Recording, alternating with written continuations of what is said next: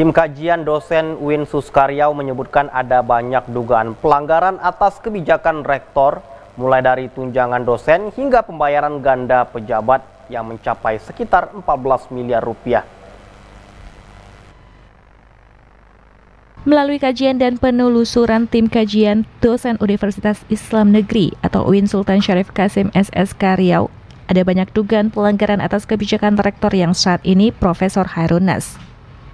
Dugaan pelanggaran tersebut terjadi mulai dari tunjangan dosen hingga pembayaran ganda pejabat.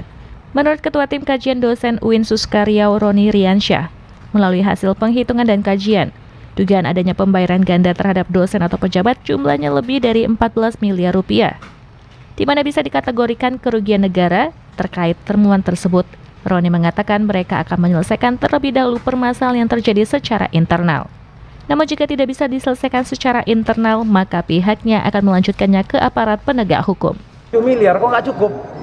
Tahu-tahu dibilang cuma tinggal 18,9 miliar. Kita hitung-hitung, eh, itu sekitar 14 miliar itu diduga merupakan kerugian keuangan negara karena pembayaran ganda kepada dosen dengan tugas tambahan. Ini yang kita yang yang kita tuntut untuk diperbaiki.